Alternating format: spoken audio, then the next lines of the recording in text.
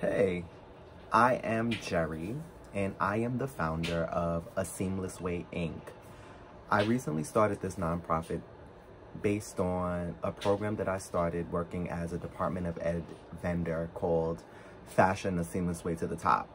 Yeah, it's very lengthy, but as I've gotten the guidance that I've needed to propel myself to this level, changing the name and presenting it to the world as such, A Seamless Way Inc. is what was needed. I created this company solely because I wanted to present something to my community that is not available or fortunate for everyone to partake in. Um, growing up in the Department of Education in New York City, I was not allotted all of what I am presenting to the world, which is learning how to sew, creating a niche for myself or just creating a space for people of color, queer folk, Afro-Caribbean, Afro-Latino, Latinx, I should say. But I fit all of those categories. And to not know that there is nothing available for me is why I started this.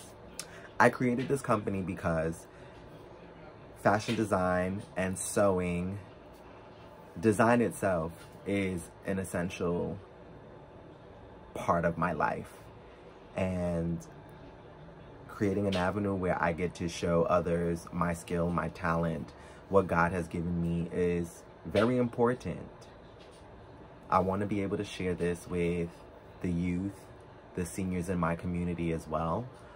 And I want to share this with all those who look like me, who sound like me, who need a space for freedom and to just create and be innovative. Why should someone like me lead this program, you ask? It's quite simple.